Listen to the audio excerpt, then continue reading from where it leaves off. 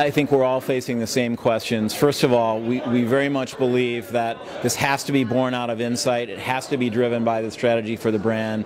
We have to agree on the measurement and metrics goals up front.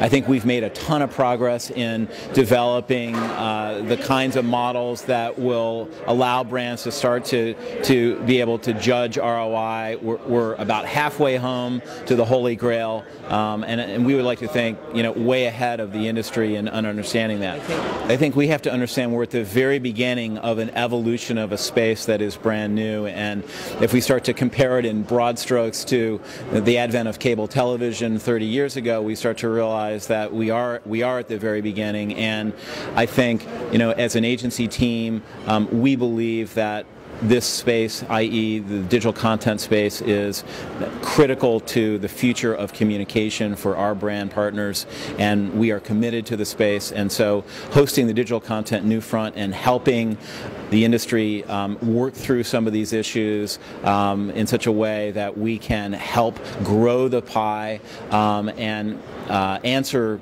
some of the many, many questions that, that, that we're seeing, we, we think is just really, really important. And uh, so if we, through the digital content New Front, are able to advance that conversation uh, and get some of these issues out on the table, I, I think we, we've accomplished half our goal.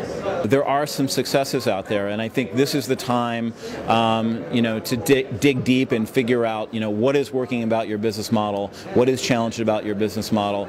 I think one of the things that we're hearing is we have to have a distribution vision if we're creating content.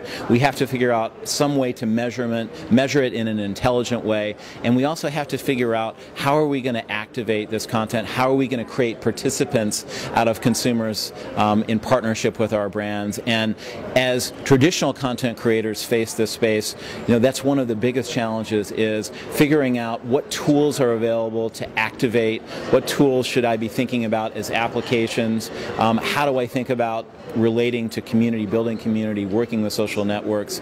Uh, so, I, I, you know, we very much believe that you know we're in a period of experimentation, and we have to continue to focus. Um, there are programs that our clients are you know continuing to invest in. Um, we're figuring out what's working about them and improving what we can, experimenting and tracking, uh, and you know those commitments remain.